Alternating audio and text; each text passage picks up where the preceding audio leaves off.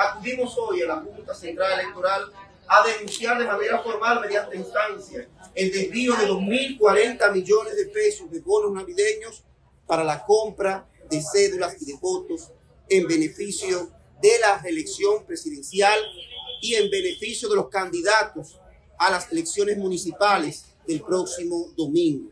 Concomitantemente con dicha instancia, estamos solicitando además la suspensión y cancelación de los plásticos emitidos como con motivo del bono navideño a los fines de impedir que se consume un atentado grosero contra la democracia en la República Dominicana.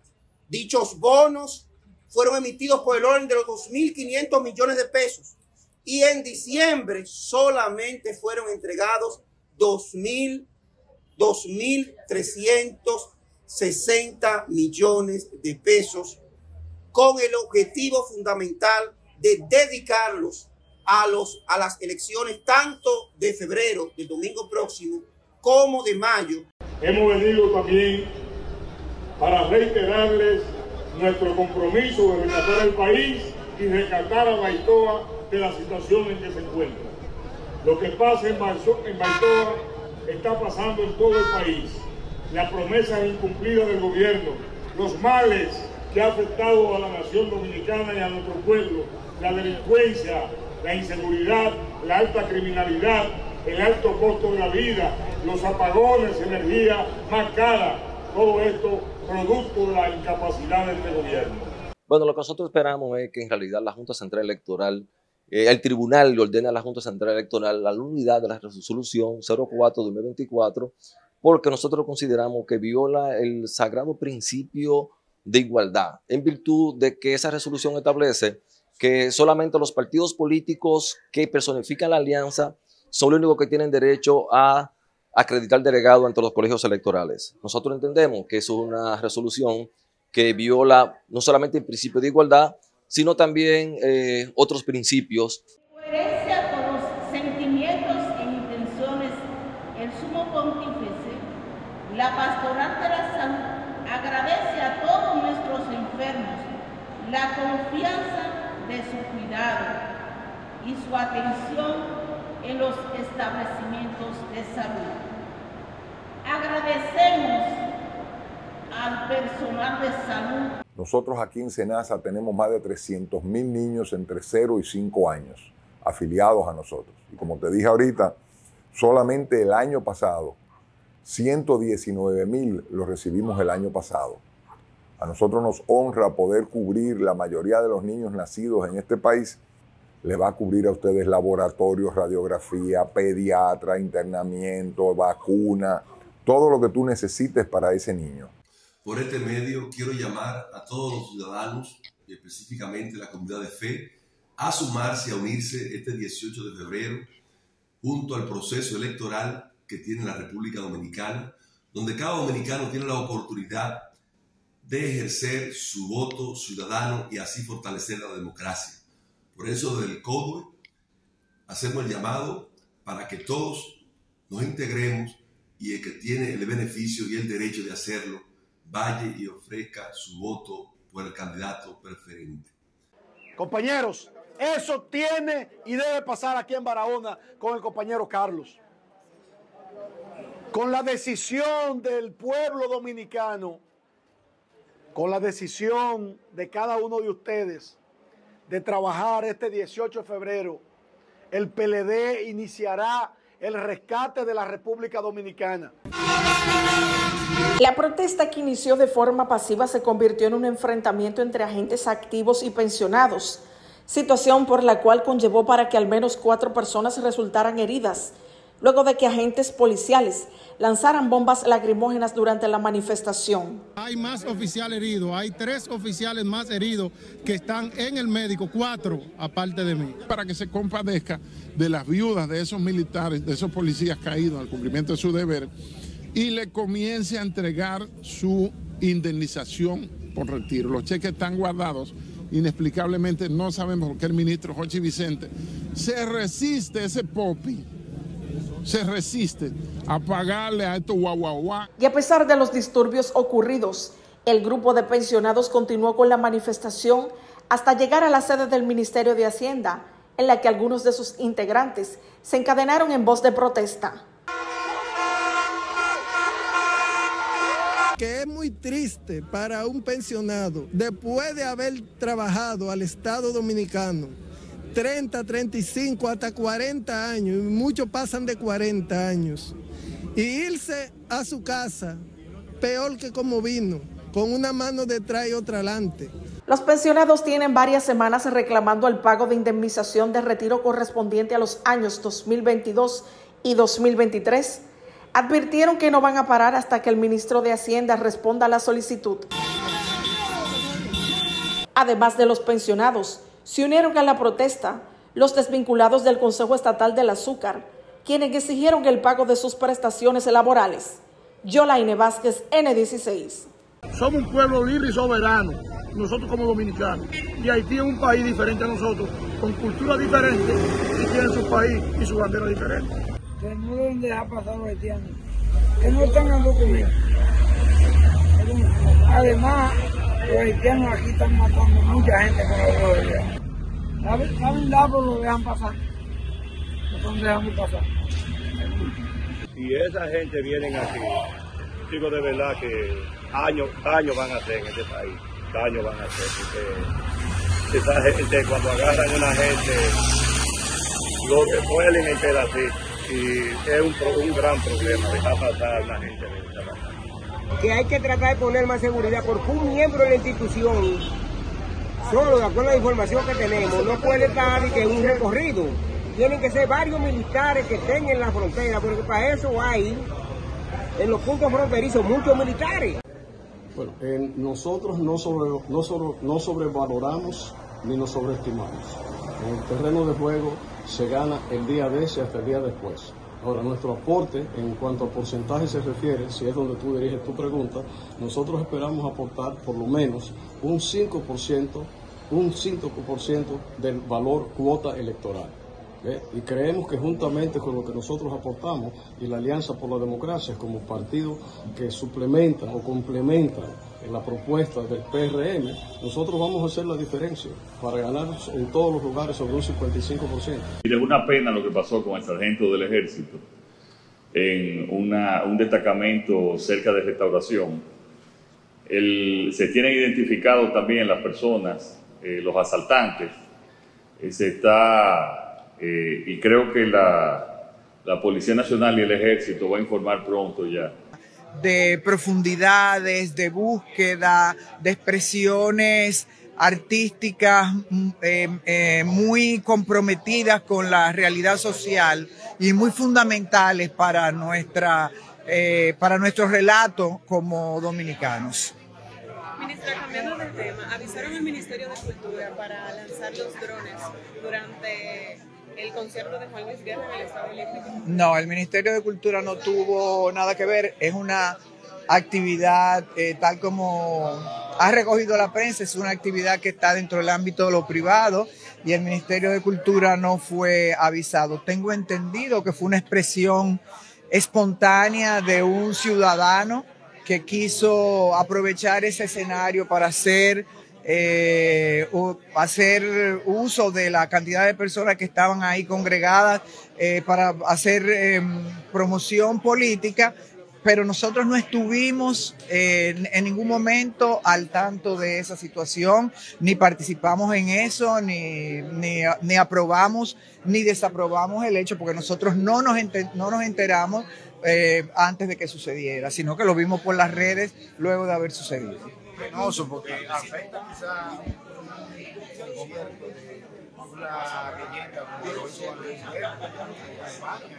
Penoso porque no se pidió el permiso apropiado, penoso porque quizás no era el escenario para hacer campaña política. Las personas que estaban ahí fueron a ver un artista, no fueron a recibir eh, propaganda de tipo política, pero el, ya el, el, propio candidato se desligó del hecho, se desligó, se desligaron los productores del espectáculo y se ve que fue un, eh, una manifestación espontánea de un ciudadano que tiene los recursos y quiso aprovecharlos en ese momento.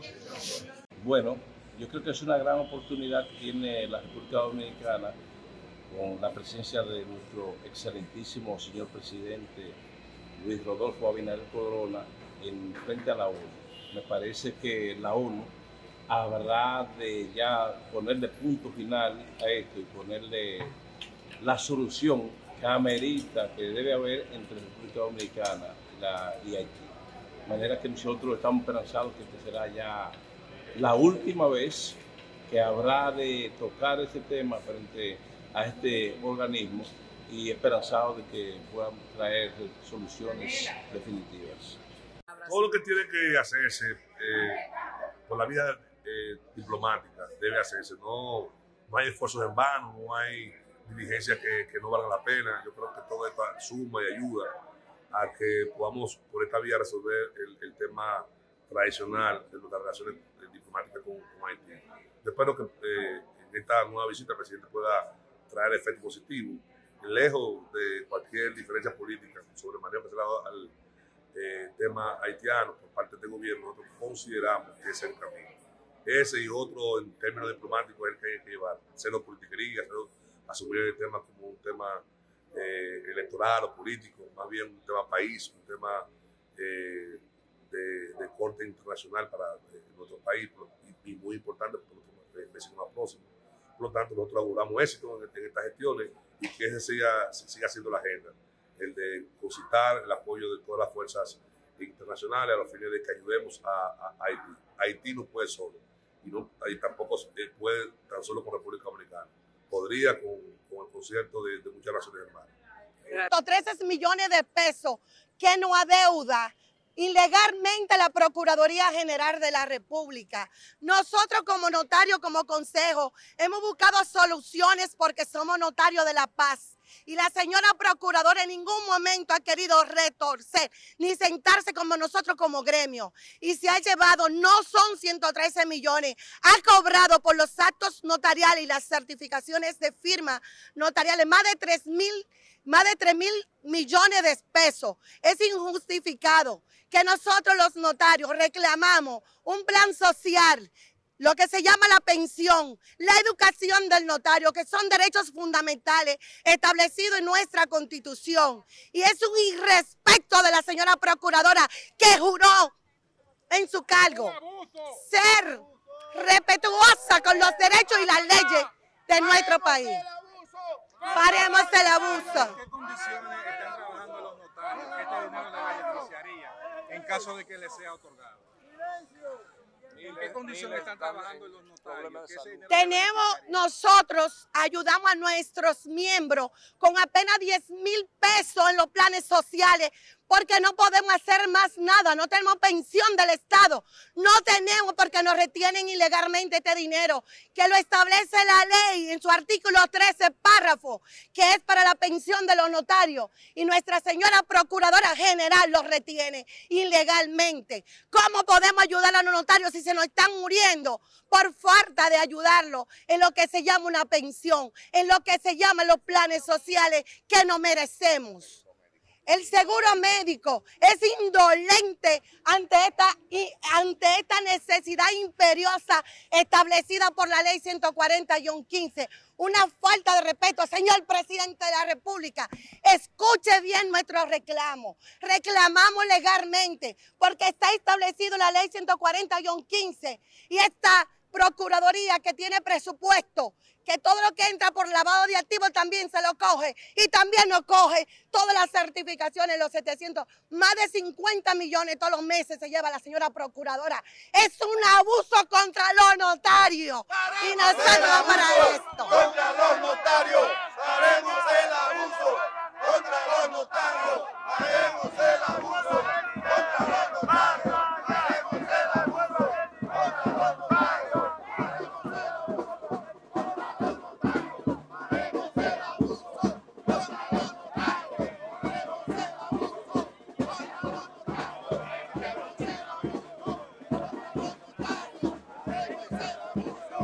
Las condiciones no estaban dadas para que el proceso se conociera por algunas falta de composición de algunos testigos que no fueron trasladados, había un, dos de los magistrados en situación de salud que no le permitía iniciar el proceso y las partes consensuamos suspender el conocimiento y se fijó nueva vez para el 15 de marzo. ¿Qué usted entiende esta larga de este proceso, doctor? Su lectura, su experiencia. Bueno, en el estadio en que estamos no ha habido larga, lo que ha habido es, eh, en esta sala de la Suprema Corte de Justicia, lo que se ha tratado es de que esté completo el proceso. No ha habido intención de dilatarlo, por lo menos aquí, en, la jurisdicción donde estamos. O sea que nosotros tenemos conciencia y tenemos confianza de que se va a conocer, eh, vamos a, salir con éxito, pero como decía al principio, se trata de un proceso. No se trata de traer a una persona a que le conozca una causa, como decía la gente antes. Si no están dadas las condiciones procesales, pues no se puede iniciar.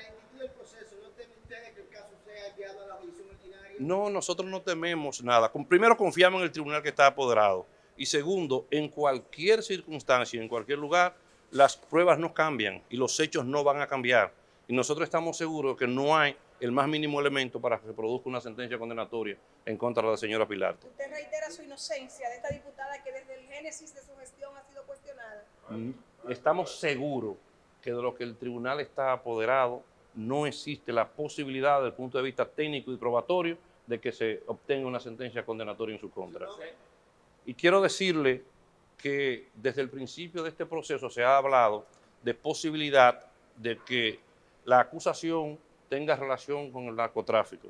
Nosotros queremos afirmarle a ustedes que todos los imputados que están en este proceso están yendo a juicio en la jurisdicción ordinaria, no por violación a la disposición de la ley 5088. Es decir, que la imputación que pese en su contra no tiene como delito precedente la droga, sino una supuesta violación a leyes fiscales.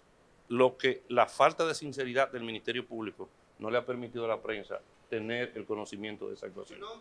En el día de hoy estamos depositando una querella contra el ministro de Medio Ambiente y cuatro viceministros y estamos solicitando, estamos solicitando que sean removidas las barcazas de los negros. Estamos pidiendo además que sea condenado el ministro de Medio Ambiente, Miguel Seara Hatton, a una pena de 10 años de prisión. Hay 100, 210 eh, demandantes víctimas de los negros, de la de las emisiones de gases de la barcaza, los daños que se le está provocando a la biodiversidad en la reserva de vida silvestre, manglares de Puerto Viejo. Ya los manatíes no pueden llegar a Puerto Viejo porque las barcazas han producido una serie de siniestros como mortandad de peces, eh, derrame de combustible que han dañado el hábitat natural de esas especies amenazada. En el día de hoy estamos pidiendo además alrededor de 75 millones de dólares para la restauración del daño ambiental y además la indemnización de las víctimas. Me gustaría que escuchen a, a las víctimas ahora. Está cometiendo el gobierno de la nación con haber instalado ahí dos barcazas de generación eléctrica con un combustible altamente contaminado, violando que es un área protegida, instalarla precisamente en la zona de amortiguamiento de lo que es refugio, manglares, refugio de vida silvestre, manglares de Puerto Viejo, de Asua, que todos los gobiernos han respetado esa disposición, impusieron ese proyecto a base de corrupción, a base de soborno y está cometiendo lo que se llama un ecocidio sencillamente. Allí los daños a la diversidad, a la ecología ya se están sintiendo y directamente en la producción agrícola y en la salud de los pobladores, ese, ese monóxido que surge de ahí, de ese combustible llamado Bunker C, hacemos el llamado y aquí estamos junto al Instituto INSAPROMA de protección a los recursos naturales para que el gobierno entienda que estamos a tiempo de parar ese crimen ecológico que está ocurriendo en Puerto Viejo de Asua, los negros. Nosotros nos está afectando en el sentido de que nosotros somos de una comunidad que vivimos de la pesca, de la agricultura y automáticamente todos después de que se instalaron la barcaza ha ido colapsando. Ya la agricultura no está dando los frutos que daba antes. Ya los manglares se están muriendo y estamos haciendo un llamado al gobierno para que vaya en nuestro auxilio, porque son miles de familias las que están siendo afectadas por la chatarra de barcaza que han puesto ahí la Car Power Chief. Muchas gracias. Hoy, el Tribunal Superior Electoral, con su pleno, integrado por los jueces, sus funcionarios y servidores, hacemos honor a nuestra bandera en la festividad del mes de la patria, resaltando los símbolos que le acompañan, el escudo y el himno nacional, entrelazados por una cinta color azul que contiene la leyenda siguiente. Dios, patria y libertad, República Dominicana. Honremos cada día a nuestros padres de la patria, Duarte, Sánchez y Mella, con el compromiso de ser cada día mejores ciudadanos y dignos del legado dejado por ellos. También debemos reconocer el gran compromiso, fruto de la democracia que tenemos, que él tiene el Tribunal Superior Electoral en los próximos días. Yo quiero desde aquí que nosotros auguremos un buen final, pero que felicitemos al Tribunal Superior Electoral por el desempeño que viene haciendo en su gran compromiso en defensa de la democracia dominicana